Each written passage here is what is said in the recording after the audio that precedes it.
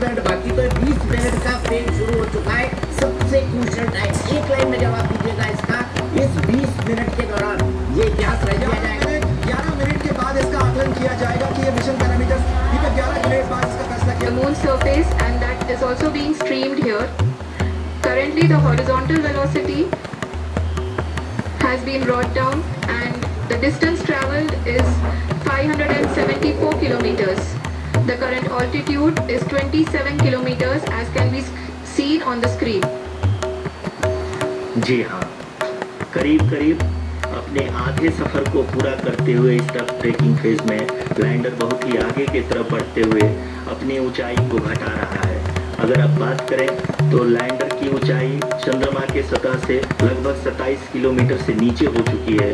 करीब करीब 26.7 किलोमीटर के आसपास है। The next phase after the rough braking phase is the attitude hold phase, which will be for a duration of nearly 10 seconds. The lander will be oriented such that both the altimeters will be looking exactly towards the moon's surface. At the end of this attitude hold phase, height measurement update to navigation system will be given from the laser and car band altimeters. Currently, we are in the middle of the rough braking phase. Fine braking की शुरुआत हो चुकी है। अभी हम ये देख सकते हैं कि लैंडर की ऊंचाई लगभग पाँच दशमलव छः किलोमीटर है जो कि इस फ़ेज़ के उपरांत लगभग लगभग 800 मीटर हो जाएगी।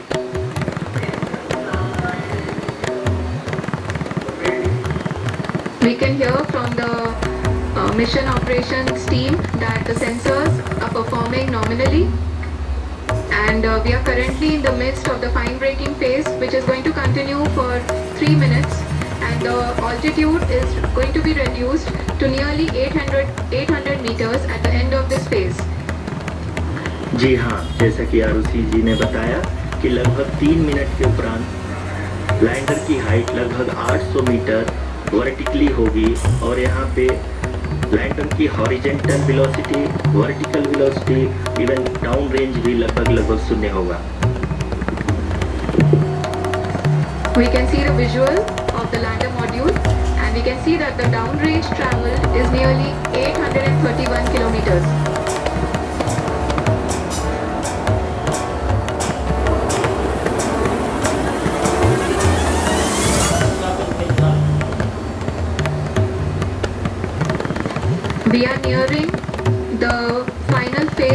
Power descent, which is going to be the vertical descent phase or the local navigation phase.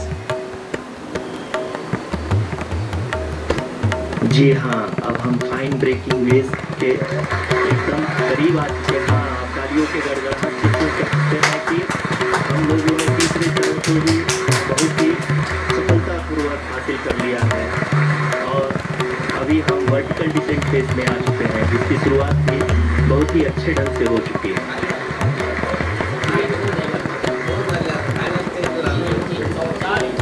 Lot of applause indicates that uh, till now the performance has been nominal. We are in the vertical descent phase 1. The altitude is being brought down from 800 meters and we are nearing and approaching the lunar surface. जी, आप अपने screen पे देख सकते हैं कि lander का height लगातार कम होता जा रहा है। इस समय हम लैंडिंग साइट के जस्ट ऊपर हैं और इस समय इसकी ऊंचाई लगभग लगभग 600 मीटर के आसपास है। इस इस इस फ़ेज़ के दौरान लगभग एक सौ पचास मीटर के ऊंचाई पे पहुँचने के बाद लैंडर अगेन लगभग 20 से 22 सेकंड के लिए हॉरिंग करेगा। We are above the landing site. The horizontal as well as the vertical velocity is now being constantly reduced. And the lander module has begun its descent towards the landing site.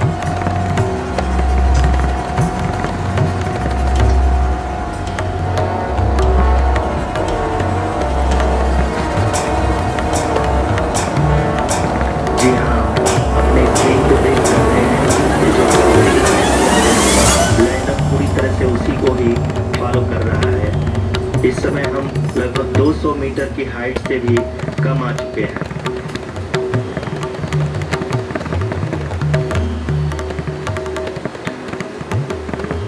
अब हम ये देख सकते हैं कि हम लगभग लगभग 150 मीटर की ऊंचाई पे हैं चंद्रमा के सतह से।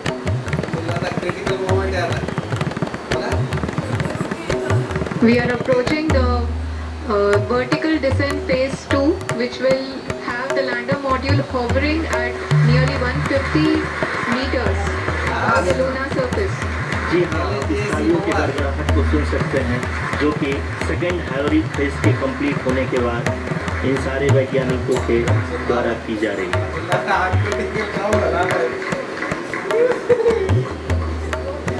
जी हाँ आप अगर फिर से ध्यान से देखें तो एल्टीट्यूड पुनः कम होता जा रहा है अभी हम लोग लगभग लगभग 135 मीटर की ऊंचाई पे हैं The sensors that are updating at this point are providing confirmation of the safety of the landing site. As expected, the retargeting is going on and this is a very good signature for the lander. अभी आप ये देख सकते हैं कि looking at the visuals.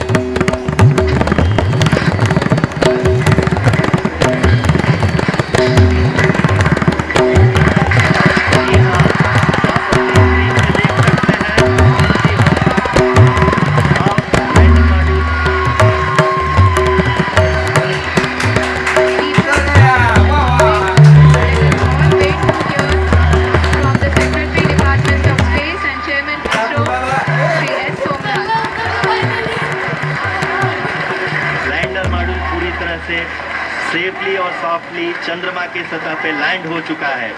ये हम लोगों के लिए बहुत ही गर्व की बात है। हिंदी में एक कहावत है कि चंदा मामा दूर के लेकिन अब हम ये कह सकते हैं कि चंदा मामा अपने घर के। बहुत ही उमदा। The hard work of the entire ISRO community has come to fruition.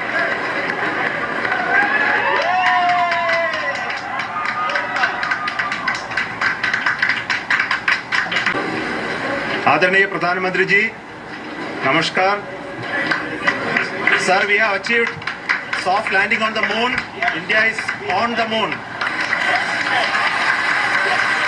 sir I request I request our Honorable Prime Minister to address us and bless us. Thank you, sir.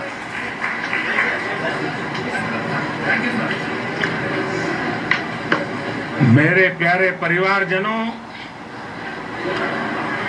जब हम अपनी आँखों के सामने ऐसा इतिहास बनते हुए देखते हैं तो जीवन धन्य हो जाता है।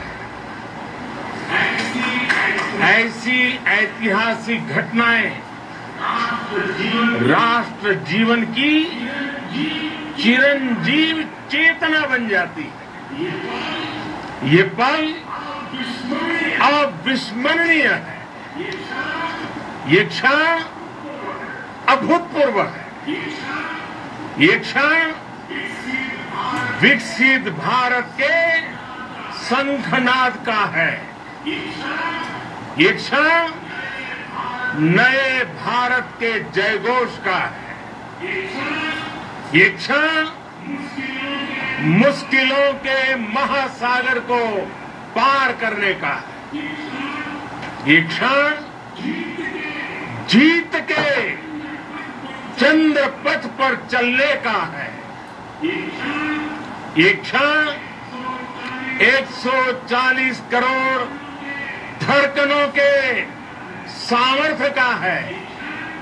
ये क्षण भारत में नई ऊर्जा, नया विश्वास नई चेतना का है, के आह्वान का है।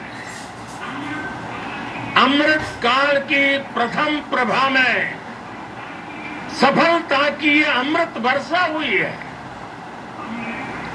हमने धरती पर संकल्प लिया और चाँद पर उसे साकार किया। और हमारे वैज्ञानिक साथियों ने भी कहा India is now on the moon आज हम अंतरिक्ष में नए भारत की नई उड़ान के साक्षी बने साथियों, मैं इस समय ब्रिक्स समिट में हिस्सा लेने के लिए दक्षिण अफ्रीका में हूँ। लेकिन हर देशवासी की तरह मेरा मन चंद्रयान महाअभियान पर भी लगा हुआ था। नया इतिहास बनते ही हर भारतीय जश्न में डूब गया है। हर घर में उत्सव शुरू हो गया है। हृदय से मैं भी अपने देशवासियों के साथ, अपने परिवारजनों के साथ इस उमंग और उल्लास से जुड़ा हुआ हूँ। मैं टीम चंद्रयान को, इसरो को और देश के सभी वैज्ञानिकों को जी जान से बहुत बहुत बधाई देता हूँ, जिन्होंने इस पल के लिए वर्षों तक इतना परिश्रम किया, उत्साह, उमंग, आनंद और भावुकता से भरे इस अद्भुत पल के लिए मैं 140 करोड़ देशवासियों को भी कोटि कोटि बधाइयाँ देता हूँ। मेरे परिवारजनों हमारे वैज्ञानिकों के परिश्रम और प्रतिभा से भारत चंद्रमा के उस दक्षिणी ध्रुव पर पहुँचा है, जहाँ आज तक दुनिया का कोई भी देश नहीं पहुँच सका। अब आज के बाद से चाँद से जुड़े मिथक बदल जाएँगे। कथानक भी बदल जाएँगे। और नई पीढ़ी के लिए कहावतें भी बदल जाएगी। भारत में तो हम हम सभी लोग धरती को माँ कहते हैं और चाँद को मामा बुलाते हैं। कभी कहा जाता था चंदा मामा बहुत दूर के हैं।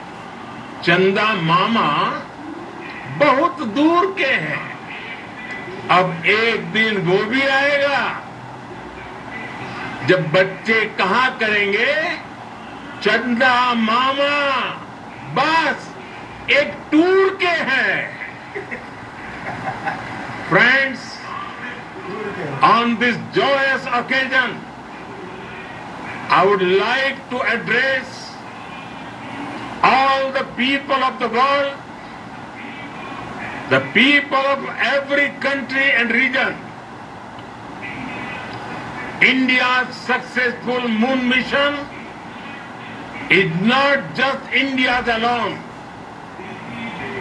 This is a year in which the world is witnessing India's G20 presidency.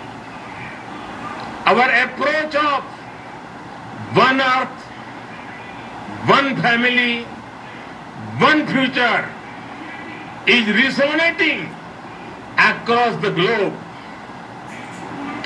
This human-centric approach that we present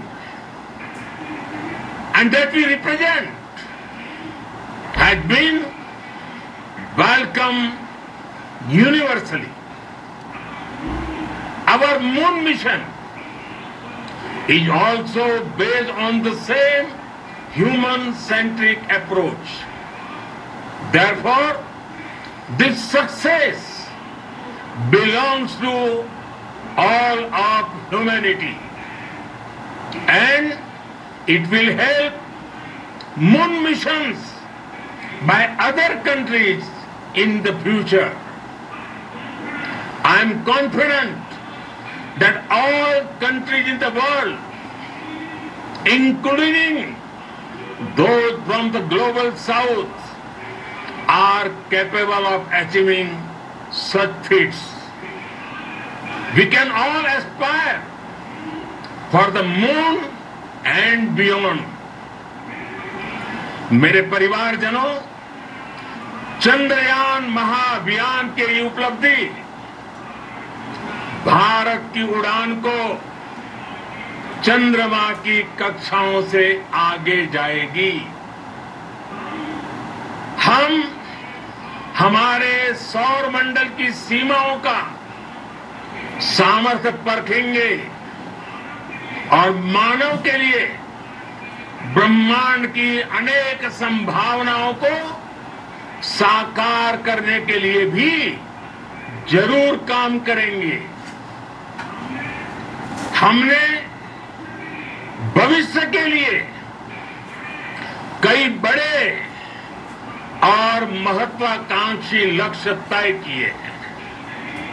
जल्द ही सूर्य के विस्तृत अध्ययन के लिए ISRO Aditya L one mission launch करने जा रहा है।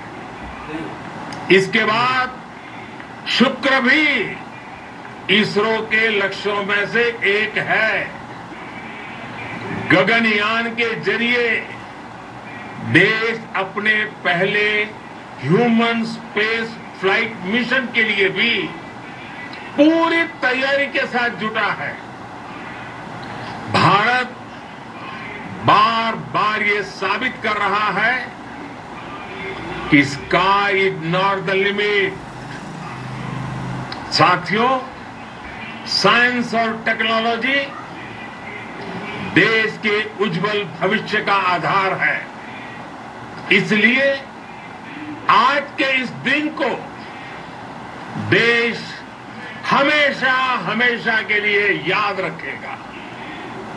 यह दिन हम सभी को एक उज्जवल भविष्य की ओर बढ़ने के लिए प्रेरित करेगा। ये दिन हमें अपने संकल्पों की सिद्धि का रास्ता दिखाएगा। ये दिन इस बात का प्रतीक है कि हार से सबक लेकर जीत कैसे हासिल की जाती है। एक बार फिर देश के सभी वैज्ञानिकों को बहुत बहुत बधाई और भविष्य के मिशन के लिए ढेरों शुभकामनाएँ। बहुत बहुत धन्यवाद।